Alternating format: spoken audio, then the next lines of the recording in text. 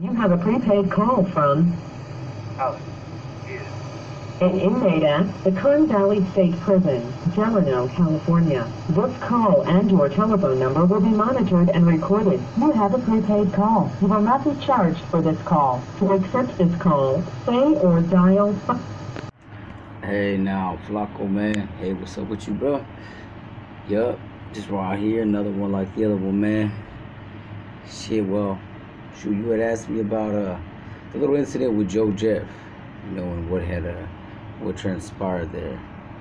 Well, you know that shit that was a while ago. That was a while ago, bro. That was uh 2006, uh February 2006. Okay, let me get a little backtrack. Um, I had come from the county jail.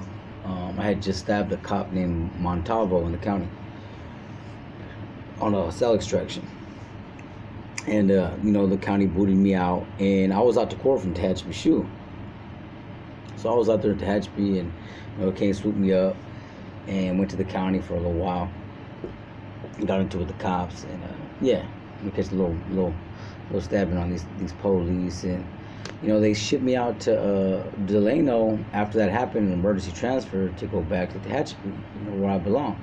I was in the shoe uh, right there. Uh, I think I had like a seven-year shoe term at that time for you know various little attacks on uh, inmates and and cops. And you know, I had never been to Delano. I didn't know what their environment was or whatnot. So you know, I'm being that I'm in the shoe, I expect to go to ad seg.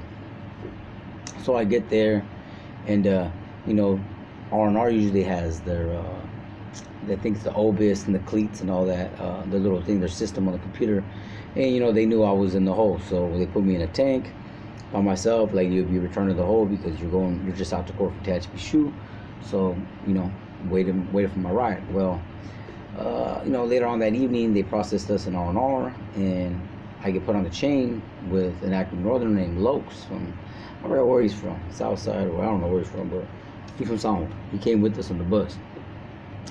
And like I said, well, I never been to Old Delano. My reception was was San Quentin, and in my first term in 2000 was DVI. So, uh, yeah, I uh, go to this little ad seg, which is D6, and I guess it's it's a very different um, setup right there. It's a there's an A side which has like maybe like 20 something cells and then there's B side that has another 20 something cells. I think it goes up to like cell 252 or 254 and you know there's there's two tiers and A side is where you had all the non-affiliate blacks and the dropouts and those that were in the uh, SNY you know category B side had all the actives all the actives and um, all the actives you know, 90% of them were on the yard unless they had uh, some violence. So I get there, I go to A side, and you know, I'm as a Norteño rider at the time in 06. Everywhere we go, we we we say we're Norteños. We say we're functioning Norteños, so you know we can get close to the oppressor and do our thing. So I get there and I announce myself, hey, I'm Norteño, just pulled up, uh, where the homies at? And they're like, hey homie, your homies on the other side. This is A side. Your homies are on B side. I'm like, okay. Was there any active Northerners? And I'm, I'm on the vent right now. I'm on the vent talking to, to an individual named uh, uh, uh, Sneaky from Capitol Park. And I'm like, well, well, check it out, homie. Uh, where's where's the homies? And is there any of them on this vent on this goblet right here? And they're like, nah, there's no there's no homies right here, bro. Uh, you mean we're all dropouts right here, and you know, much respect, but uh, your homies are over there. And I'm like, you're certain there's nobody right here? they're like, nah. I was like, okay. What's up, homie? Yeah, they call me Scrappy from San Juan East Side, you know, VNC, Barrio Norte 14. And they were like, okay, okay, that's what's up. I said, look, bro, uh, I'm a Northern Rider. And they're like, whoa, okay, okay, we, never, we haven't had any of you guys around here. Uh, man, uh, so you're still active? And I was like, yes, I am. You know, uh, you know, like, like, like what I say, we're active. What, like, what does active mean to most of the people, like, like, like the public out there?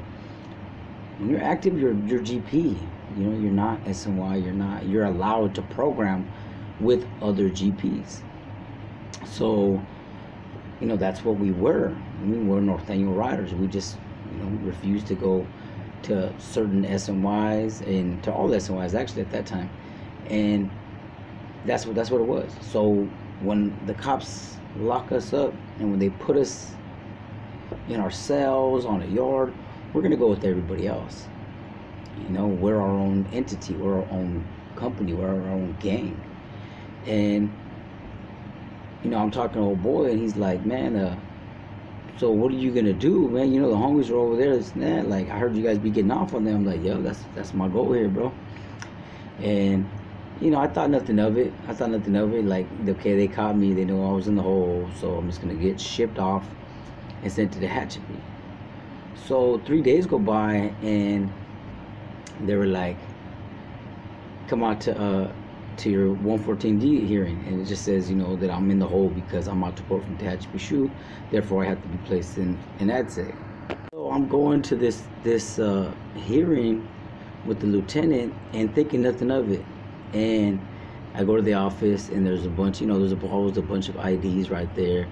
And they're like, hey, so your double cell cleared. Can you sell up your homies? Are you still good with the fellas? I'm like, all the time, man. They're like, well, so which one of your homies up here can you sell up with? And they show me a bunch of like ID tags, like name tags up there with pictures. And I'm like, any any one of them, any one of them. You know, I'm active Norteño. And they're like, your file says you're validated. I was like, yes, yes, it does. And I was validated, but I was validated Norteño Rider. I was the first in California to ever be validated in uh, November of 2004. And, you know, they put me a picture down of this dude named Joe Jefferson. And it says AK right there, Little Güero de Salas. And it says parole from Pelican Bay Shoe. And I'm like, like, what's up with them? And they were like, you want to start with this guy? I was like, it doesn't matter. Like, I'm I'm an affiliate. I'm trying to be. I'm trying to move to the other side with my people. And they're like, okay, well, he's on the yard right now, but we'll send the paper down there and you can sell it with them. And I was like, okay, cool. And you know, so I, I started getting all my stuff ready. I had a bunch of tobacco with me, um, razors and whatnot. You know, a little travel kit. And you know, I secure everything. And I tell the homie down the way, hey, um, hey, here's my bundle real quick go ahead and hold this for me because I, I, had you know established a rapport with the homie Sneaky from, from Capitol Park, and you know I trusted him like here hold this. Here's a little issue for you because you know most people want to tap into people's bundles. Here's some here's a take some of this. That's for you, bro, and hold this for me. I'll be back tonight. So I'm gonna go over here and whack this dude. And they're like, who you selling up with? And I'm like, I don't know, this dude named uh, Joe Jefferson. Uh, Little Güero from Salas, and they're like, "Oh man, that was he's a, a, a carnal prospect. That's uh, Matt Rocha from Salas is uh, uh, his his little stepbrother." And I was like, "Okay, you know, I knew Matt Rocha was, you know, big homie in the Bay." And I was like, "Okay, that's what's up." They were like, "Hey man, be careful, because like I said, at that time I'm like 140 pounds, and you know, I'll say Joe Jeff at that time is probably like pushing like 190." And you know, he's a little taller than me. I mean, I'm short, but he ain't too much taller. He's like 5'7. And they were like, bro, he's kind of big. Just be careful. And I was like, man, it's good, bro. Like at that time, I'm a kid, so I don't have none of that fear. I don't have none of like my whole thing is just to announce ourselves in blood everywhere we go. You know, I had already whacked uh, uh, an hermano in, in San Quentin, uh, which I had I had caught eight years for, uh, by the name of Arthur Sowell um, what do they call him? Oh, they call him Sapo, Sapo from Daly City. And this was in 2005. So, you know, I'm telling the homies, like, man, don't trip, bro. I already know what I got to do. I'm, I'm going to go over there and do this and do that. You know, you have that young mind where, you know, I, I can I can do anything and come out unscathed. And, you know, as as an older man now, you know, I'm 40 years old now. You know, I don't think like that no more. You know, you, you're a little more cautious, even though I'm a lot stronger, a lot bigger and I know what to do. It's just you know I, I wouldn't have had that blind um, that blind Superman complex at that time. You know, uh, it was you know it was foolish thinking. You know, when you're young, you know you have that invincibility complex where nothing can hurt you, nothing can go wrong. And had it been today, I would have got off the first day, not on first contact, but at that time, a big thing of uh, uh, like a part of us was infiltrating, infiltrating, getting to know these individuals, getting to know their their habits, getting to know their safe houses, and you know their overall business on the street. And that's something that I taught and promoted within the Norteño Rider structure, you know. So I get moved over there, and you know you got a handcuff. So they handcuffed me, and this dude was on the yard when we signed the paper, so we never officially were supposed to put you in cages side by side, and you know you get to talk to each other, but we didn't do that. So I didn't get to talk. I didn't get to feel him out. Nothing. So they put me in the cell, and I look in there. I don't see nobody, but this individual. I, I, I go to put my, my, my bedroll down on the bed, you know, because I'm handcuffed, and I drop her on the bed, and I don't see nobody in the cell. And I'm like, where's this dude at? But as soon as I had walked past the door in the toilet, he slid out the side, and the cops closed the door, and he was already behind me uncuffing. Well, as a new arrival, Norteños have a policy. The new arrival has to cuff up first, uncuff first. Policy for secure, uh, security reasons because they never want to be left vulnerable with the new arrival whom they can't trust because groups like my own, the Norteño Riders, the New Flowers, the Sucker Freeze at the time, the Full 60s, and so on and so forth.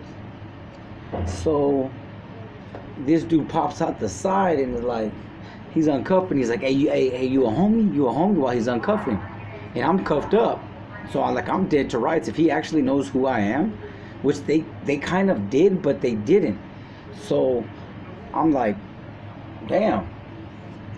He's like, yeah, you a homie or what? And I'm like, hey, bro, yeah, I'm a homie. What's up, man? You know, my name is Chalo de Sanjo. What's up? And he was like, okay, okay. And I'm, I, I, I, get past him, and you know, I walk past him, and I uncuff and shake his hand. He was like, hey, man, cause uh, you know, there was an individual you arrived with the other day named Lokes, and he said your name is Scrappy, and that you were fishing with the dropouts on that side. So you know, immediately, immediately, you know, like they know partially, they partial story, like like like they know partial fact. You know, like I'm like, okay, so my my my, my brain works in overdrive, and I'm like, hey, bro, my name is not Scrap, my name is Chalo, and yes, I was fishing with the dropouts over there. They played me and told me that they were active, and that they needed to see my lockup order, so I sent him my lockup order. Now, my lockup order is, clean though, you know. My lockup order just says my name and where I'm in the hole for out to court for the Tehachapi shoe. So he was like, "Yeah, but they say your name is Scrappy," and at this time, like my name wasn't known like that back then. And I'm not, I'm not uh, one of these people seeking, you know, fame or, uh, you know, a name for myself. It was, I had done done some things, and I had gone out there and paroled, and, and functioned with the, uh, the with the Norteños out there in, in Sanjo, and manipulated a lot of people to do Norteño rider activities because you know that's who we were. We were trying to infiltrate and you know garner our, our, our own our own uh, unit, but we didn't have the numbers to do it. So when we used to infiltrate and, and use the Norteños to do our bidding, you know, it, it was all advancement. It didn't matter. And plus, to us, they were expendable because the Norteño Rider Revolution was under its own banner and not under the NF agenda. So, you know, this dude telling me, Joe Jeff is like, hey man, yeah, that's crazy because this dude, this northerner, he, he came over here and he said all this and that about you that you were that he didn't know if you were brown in brown on the on the bus. Was brown in the county jail is a dropout, and also the Sureños at the time wore brown, and I was like, nah, bro, because when you get on the bus, you don't wear that brown shirt, you wear the orange shirt, the regular T-shirt instead of the the the khaki uh, uh, top from uh, from the county jail. It's either red, you know, you got red one, blue one, green one, white one for, for trustee, um, uh, orange one. So, and I guess now the Sureños have the lime green. So I'm like, nah, man, like like, you know, I'm I am me, and I had, you know, he's like, hey, look, bro, there's a bunch of questions these people have. You know this and that, and I I, I, I, I signed I signed and and, and uh, you know wrote my uh, my spill to these individuals saying who I was. You know, I concocted where I was in the county. I said I came from. I think I think I said I came from like seven A or maybe it was six B. Maybe it was six B. It was like an overflow because it was I knew it was a fuzzy fuzzy area where people really wouldn't know who you were or, or where you were at because it was like an overflow area, so you couldn't like righteously check in to to a unit and be a part of that that unit's uh, roll call. So, you know, I'm doing all this, and mind you, I have writers up on my eyebrow, on the side of my head. It says "fuck NF." Um, on my arm it says "fuck NF." On my hands it says "fuck NF." I got Norteño Rider on my collarbone. I got the Rider Bird on my back.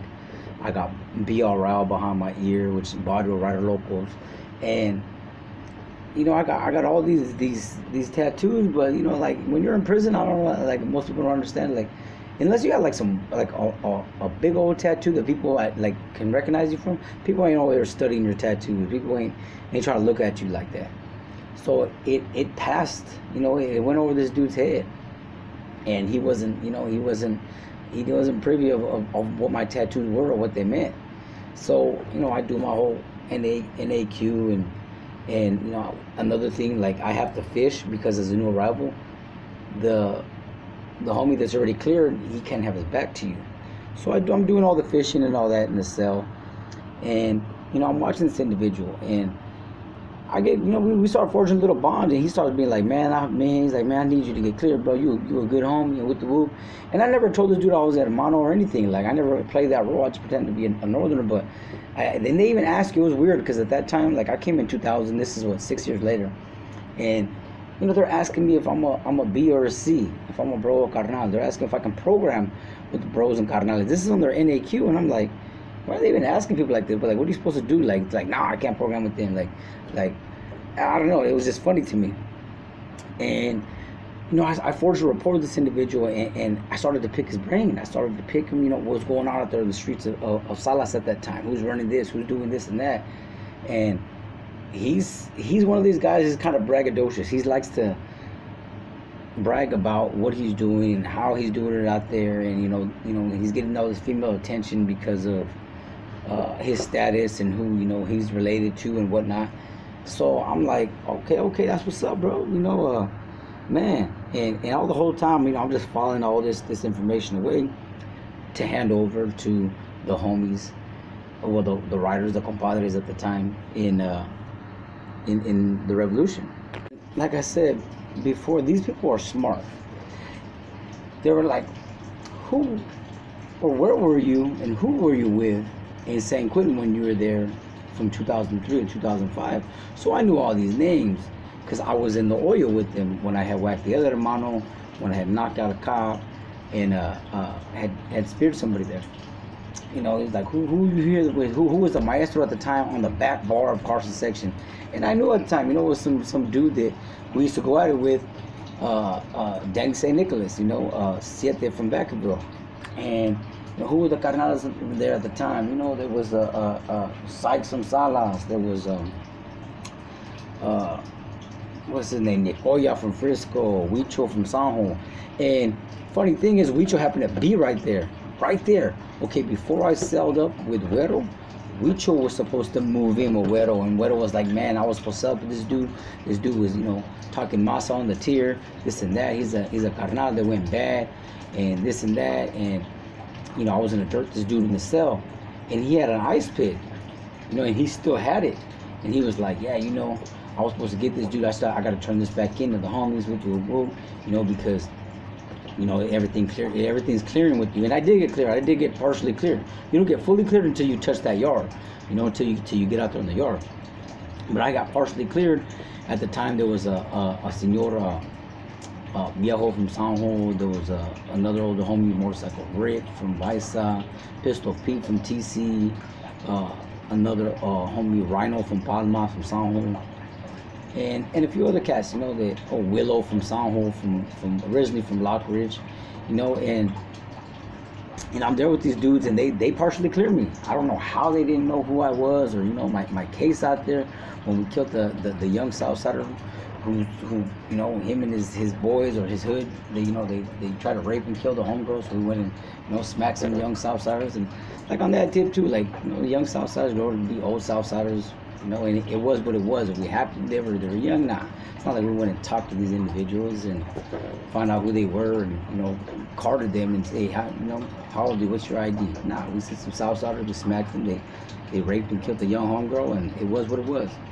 So I don't know how these individuals didn't know that because it was a public interest case in San Jose, and maybe they did know. Maybe they did want me to hit the yard. I I, I don't know. And I've I've met and talked to people after the fact. After that, you know, a lot of people they had had, had dropped out. The homie Titi from from uh, from Farmas, and you know they were all there. They were there at the time. So. Uh, so you know, I, I go to triage. They treat my little bite mark, and he goes to triage, and you know they uh, give him some steri strips or whatever because he refused to get stitches, and they give him you know whatever to close up his face, and they hose us off, and then five cans. We were burning for a long time, and I I had a long hair on the top. I shaved her all around the side, so like, man, that that thing stuck in my hair for a while. But you know, I ended up talking to him like a week later at medical, and he was like, you know what, bro, you did exactly what I would do, and I can't I can't take that from you. And I was like, that's what's up, bro. You know, uh, it is what it is, and you know, I had no hard feelings towards him. You know, I didn't, I didn't hate the individual. He was actually a, a cool cat, and you know, to this day, like I don't wish ill will on the individual. I don't know if he's still pushing or not, but it was what it was. But when you go in the cell with people like that, or you're in an environment where you're outnumbered and you know you're not supposed to be there, you know, you gotta have a strong psychological mind because it will take its toll on you. It'll eat you up but you got to focus on your goal. Focus on your goal and execute your execute your plan. Don't ever hesitate. Don't make excuses for why you're not doing it why your timeline has been adjusted or changed. No do it when you're supposed to do it or just do it immediately. Because yeah you will make excuses for yourself and that's the wrong thing to do. I was a little bewildered that I was skating through being unscathed, you know, because uh, this dude had an ice pick, and you know, uh, appearance-wise, he was, he was a lot bigger than me and could probably knock me down with that ice pick if he, if I was caught unaware. And you know, being my invisibility complex at the time or not, I mean, I was still, you know, I still realized my my my my my uh, my risk. And it's like we would sleep, like I would go to sleep but like anytime I would move, this dude would like pop, like wake up, his eyes would pop open, or I could hear him stop breathing. Like he uh he was on his toes. He was on his toes. But slowly but surely I started knocking down those walls, like those walls of defense. And funny thing was he was he was writing to another uh, hermano, the one I had spoken previously, who was a maestro in uh, in San Quentin, and that that, that individual, uh, Danny St. Nicholas.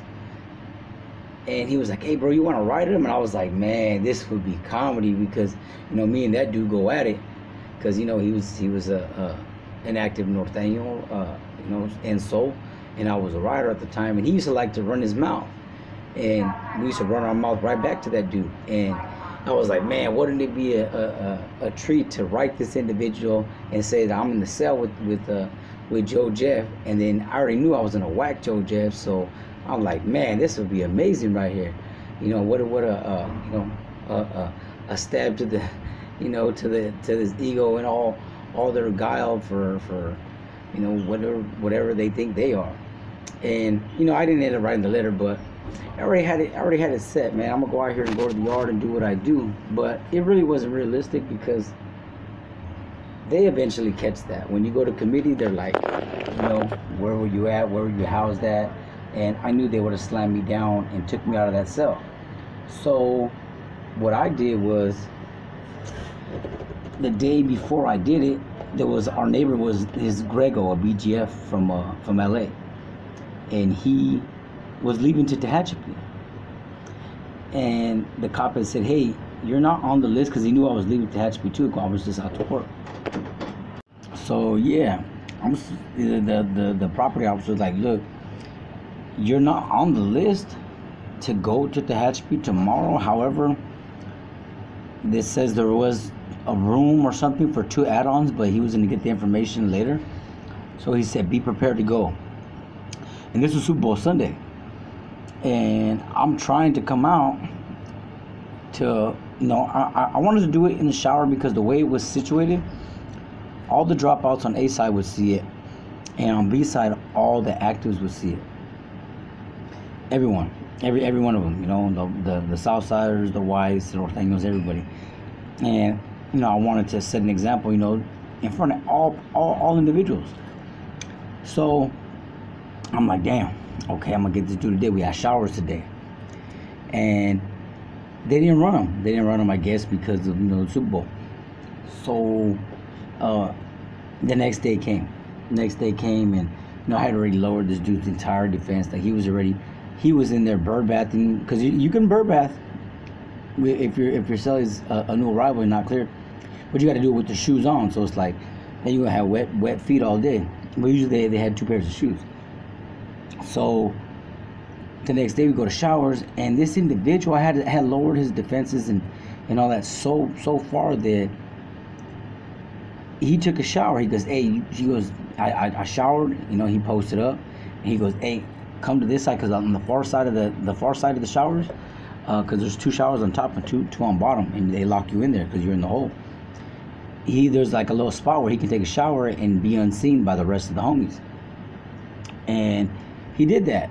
But I, I, mean, I was no coward. I wasn't gonna whack him uh, while he was in the shower or anything, because I had already got into a conejo from Gilas over there. Larry Lucero was like, "Man, you at the home, You came from behind in in R and R and did that to to Big Sapo from Daly City."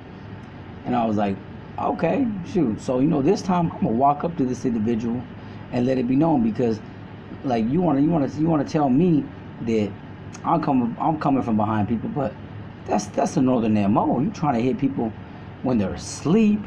You trying to hit people when they ain't looking. You know, cut them in their in their in the side of their neck and their face, and then have two other people bomb on them and then and then bail out. Okay, well I'm gonna show you how how a warrior does it. So, Joe Jeff finished showering, put his clothes on. The cops came to collect our razors, and when they came to collect our razors, I gave it to them. Well, mind you, my write-up tries to say that I- that Joe Jeff backed up to the slot first. That's not true. He can't back up to the slot first because I'm not cleared yet. I have to do it first. So you know, the cops they they write things the way they want, but you know, he was the cop was putting my razor away, and I told Joe Jeff, "Hey, who's that down there?" So he looked down there, and he didn't see nobody. And by the time he turned, like by the time he turned back to look at me, I was already in his face, and I told him, "Hey, bro, don't take this personally," you know. And I slashed him across his face, and you know, it went deep enough to where, you know, I, I it was a it was a straight razor uh, by itself. So, you know, it was it was it was a deep cut, but it was just a, a razor by itself, and I you know I didn't keep going, nothing. I just slashed it once. I felt the teeth like like do a little like against the teeth, and then he grabbed my arm and he was like, "Hey, bro, what are you doing, man?" He's like, "Why are you why are you doing this? What are you doing?" And you know we started rustling, so I flicked the razor and like towards him. He ain't gonna fight it because it's so small. And the showers, I don't know why, because when we were rustling, they turned on. And like, I figured this dude was gonna have hands or something. He wasn't even throwing no punches. He was just trying to wrestle. And finally, we fell to the ground. And the way we fell is I landed on top of him. And he had been trying to bite me like when we were wrestling, like, but I wasn't. I wouldn't, you know, I wouldn't let him. I was pushing his face back and, and, and punching him. And when we fell, like my, my my fingers, two of my fingers landed in his mouth somehow, and like I was trying to push myself up, and this fool started biting my fingers. Like I ain't gonna lie, that that that I mean that still hurts. That's just like like damn, I felt like he bit my finger off, but you know at the end of the day it was just little little little teeth marks. But so when he was doing that, he was biting my fingers. I dug my fingers into his eyes, and he started screaming, "All right, all right, all right, all right, stop, stop!" And I know he tried to throw a couple little marshmallow punches, and I'm like, "What the hell?" And I just started drilling them, boom, boom, boom, boom, boom, boom, and they hit us. They kept hitting us with with uh, they hit us with five cans, and you know after they hit us with them five cans, uh, you know we're all orange and like Cheetos on the ground, and he's like, "Why, bro? Why?" And I'm like, "Hey, bro." And like I said, we're trying to infiltrate and and plant the seed and sow dissension with these individuals. So I'm like, hey, bro, I got nothing but love for you, but the the homie Willow told me to do it. And he was like, Why? I ain't do nothing wrong. He goes, When? I said, Man, the day he went to A side to use the restroom, that's when he sent me, you know, I talked to him through the vent. And he was like, What did I do? What did I do? I was like, Bro, I'm not gonna talk about this in front of the cops. And he was like, But I ain't do nothing wrong. And you know, he was just like in a whole like emotional role right there. And I was like, Look, bro, like I got love for you, bro, but I was just doing what I had to do, you know, what I was told. And it was all a lie, you know, that was just me trying to be deceitful. And I wanted him to go back and, you know, either take off on his people or start questioning things.